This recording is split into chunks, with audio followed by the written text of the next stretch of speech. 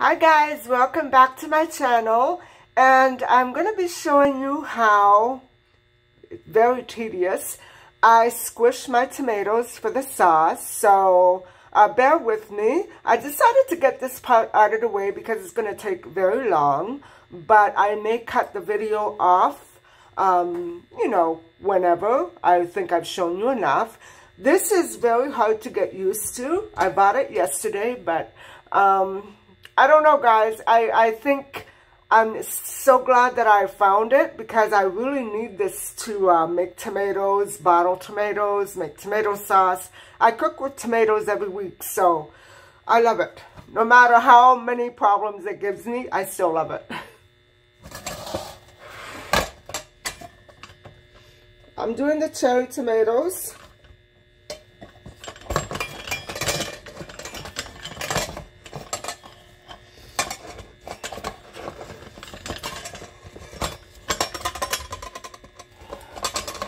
This is very hard to do um, manually. Very hard to do it.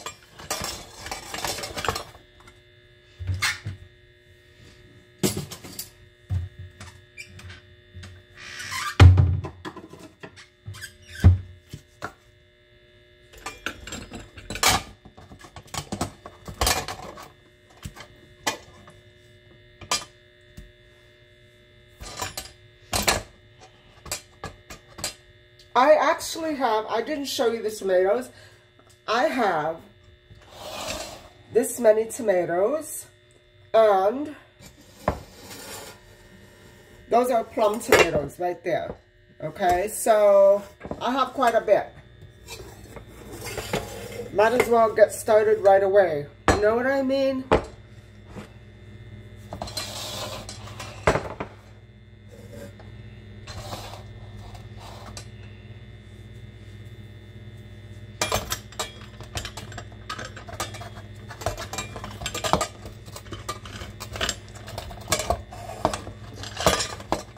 It's actually not bad once you get the hang of it.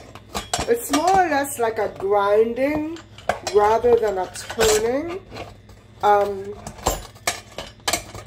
honest, it gets easier as you go along. It's just a matter of getting used to this gadget.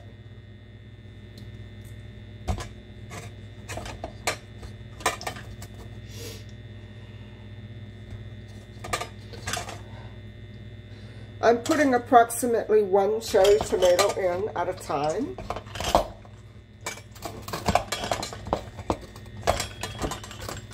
See how I'm pressing and not really actually turning? That's the trick to this machine.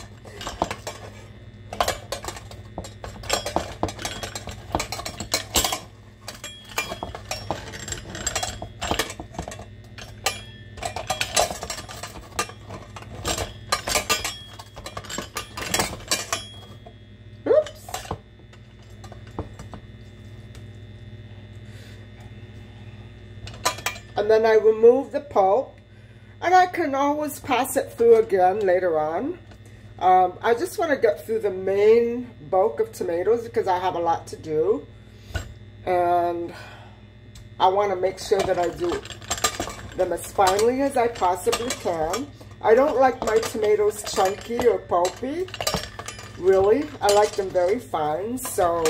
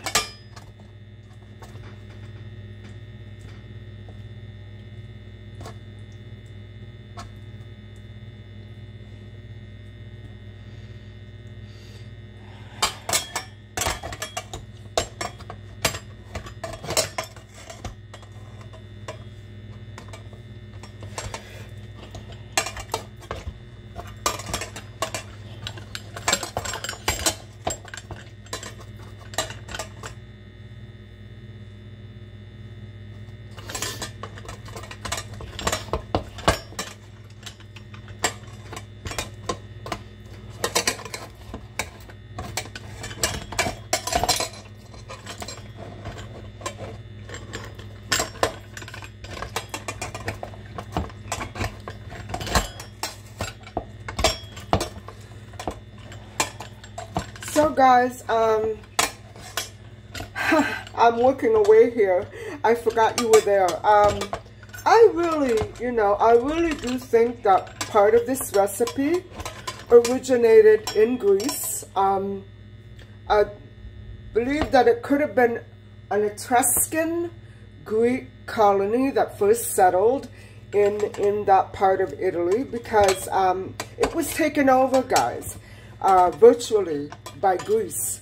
And um, that part of Italy, the south, where my dad came from, Reggio Calabria, um, is right at the tip of the toe. And it's very close to Messina. And just a hop, skip, and a jump, probably not literally, from Africa. And so um, that area of Italy remained, just like Greece, a very very flourishing agricultural, no, not agricultural, what am I saying?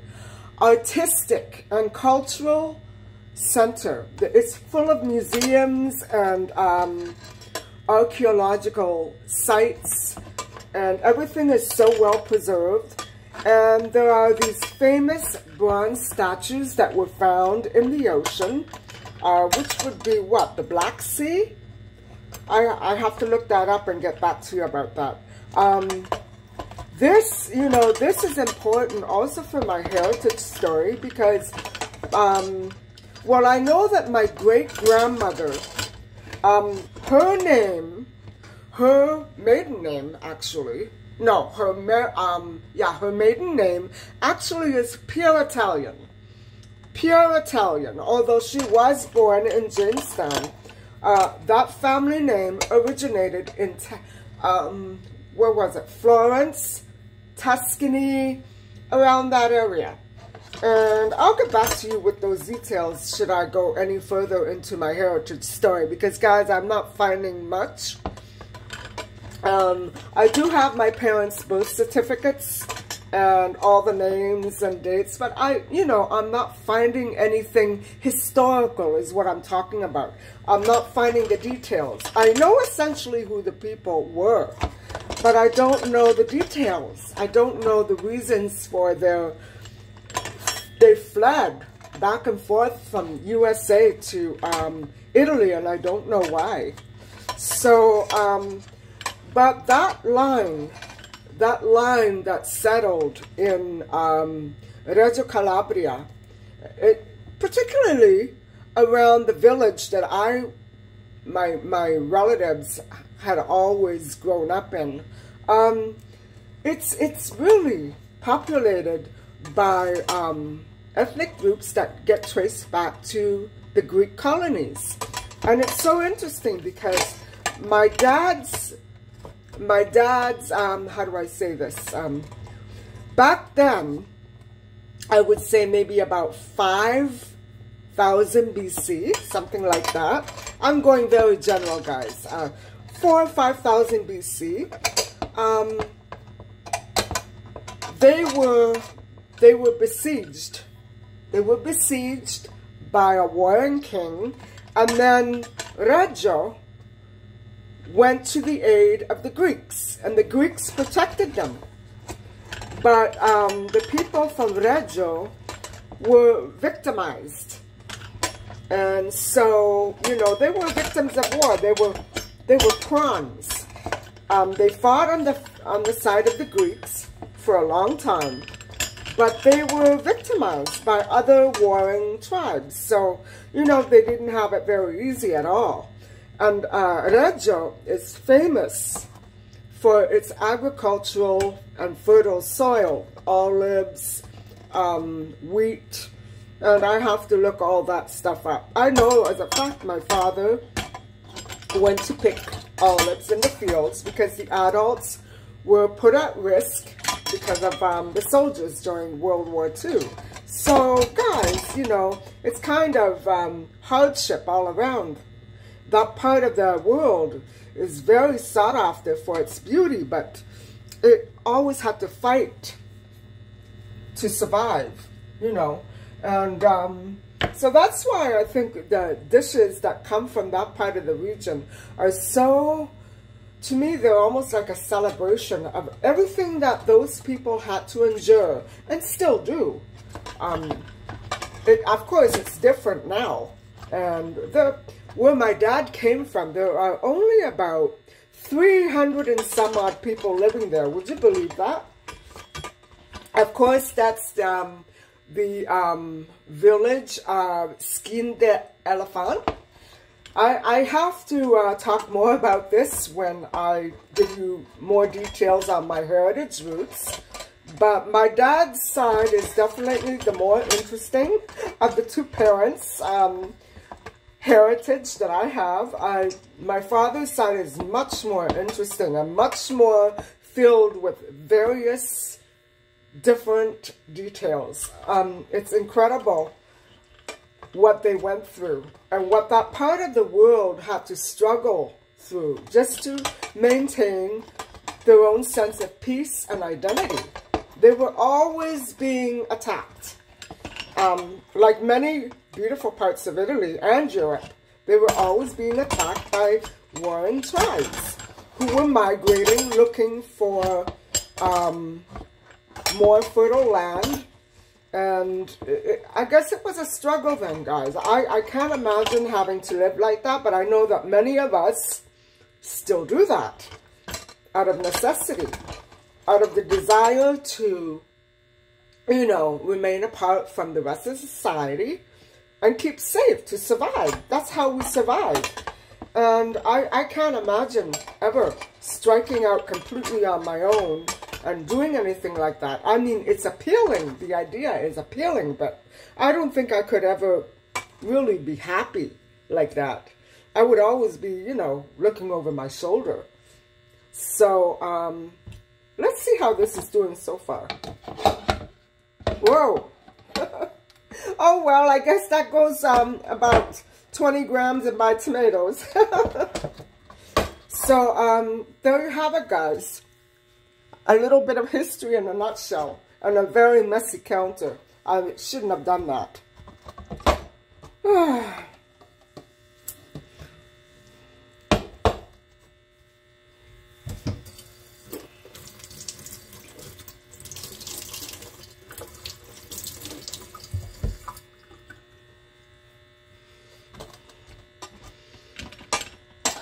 I think I'm having a morning where I'm going to need a second cup of coffee.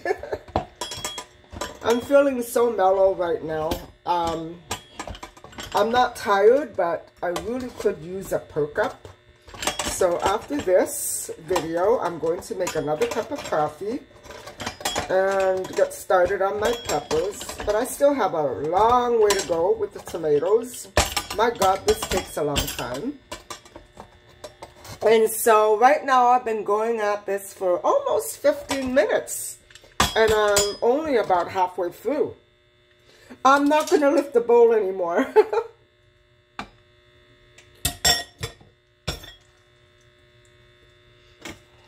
I'm putting all the pulp in there.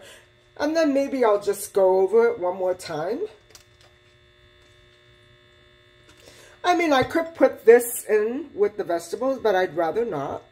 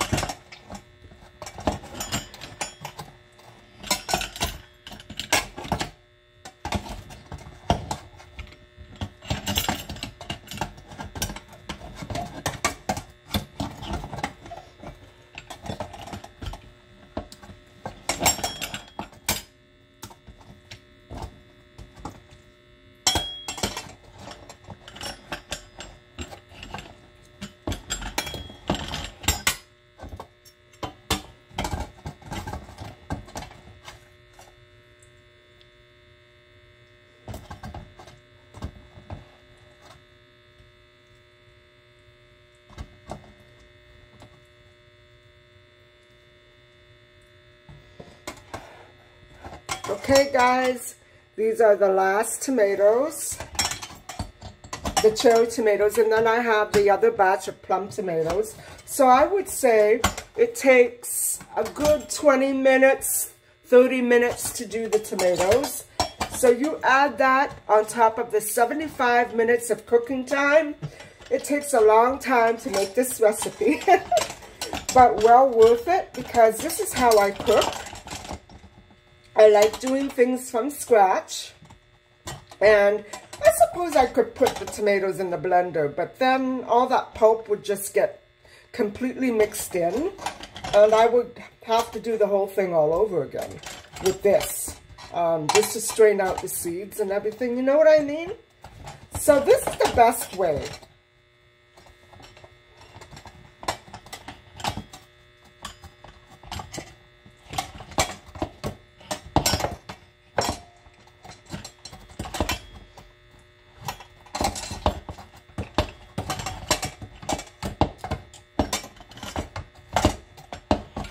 Okay, guys, that's it.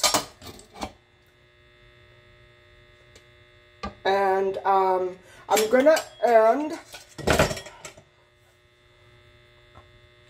I'm to end the vlog right here. So um, hopefully you've enjoyed some of this, listening to the history. And I'm sorry the demonstration was a little on the quiet side, but I'm really concentrating on my muscle there. Um, so uh, the next part will be to uh, simmer down the peppers, which I'll be doing with salt, pepper, oregano, and um, what do you call it? Um, pepper and salt and oil, olive oil. And um, what I'm going to be doing now is I'm going to be adding some basil to the tomato just because I love I love the taste of tomato with basil to me, tomato doesn't taste like tomato unless it's got basil in it. I don't know why. So, um, anyway, hope you've enjoyed this video. And please don't forget to like and subscribe. Bye for now.